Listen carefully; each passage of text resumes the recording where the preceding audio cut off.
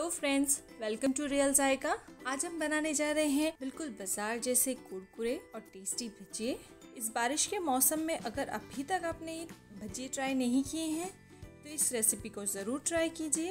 अगर आपने मेरा चैनल अभी तक सब्सक्राइब नहीं किया तो रियल जायका को सब्सक्राइब कीजिए। तो चलो आज की रेसिपी शुरू करते हैं। यहाँ पे मैंने तीन प्याज ली है, जो इस कटर से मैं स्लाइस करूँगी। इसे मीडियम कट करें, ना ज़्यादा पतला और ना ज़्यादा मोटा, मीडियम। अगर आपके पास ये कटर नहीं है तो आप नाइफ से कट कीजिए। ये अच्छे से कट हो चुकी है। अब इसे हाथों से अलग अलग कर लें। आप देख सकते हैं, ये अच्छे से मैंने अलग कर ली है। अब हम इसमें मसाले डालेंगे। सबसे पहले मैंने यहाँ पे आधी चम्मच हल्दी ली है, एक चम्मच मिर्ची पाउडर आधी चम्मच जीरा पाउडर। जीरा पाउडर बहुत ही अच्छा फ्लेवर देता है। मैंने इसे हल्का रोस्ट करके पाउडर बनाया है। वो यूज़ कर रही हूँ मैं इसमें। अब इसे अच्छे से मिक्स कीजिए।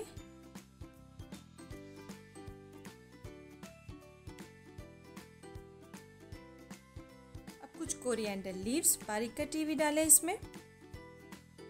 दो चम्मच चावल का आटा।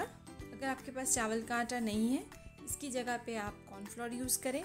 इससे भजिए बहुत ज़्यादा क्रिस्पी बनेंगे। अब इसमें थोड़ा थोड़ा करके चने का आटा डालें। मैंने यहाँ पे एक कप जैसा चने का आटा लिया है। स्वाद अनुसार नमक। मिक्स कीजिए। एकदम थोड़ा सा पानी डालें। ज़्यादा पानी ना डालें इसमें। दो से तीन चम्मच ही मैं टोटल पानी यूज़ करूँगी। देखिए परफेक्ट हमारा प्याज का मसाला रेडी हो गया है। मैंने यहाँ पे ऑलरेडी तेल गरम कर लिया है। एक एक करके मैं भजिए डालूँगी। भजिए को क्रिस्पी और ब्राउन होते तक फ्राई करें।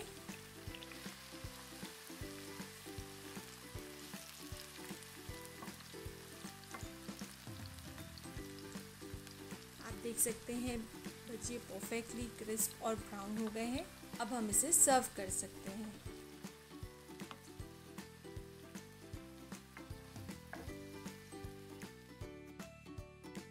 बारिश और प्याजी पकौड़ों का डेडली कॉम्बिनेशन आपको कैसा लगा, मुझे कमेंट करके ज़रूर बताएँ। अगर वीडियो अच्छा लगा हो तो लाइक करें शेयर करें। ऐसी ही मज़ेदार रेसिपी के लिए रियल जायका के साथ बने रहिए। Thank you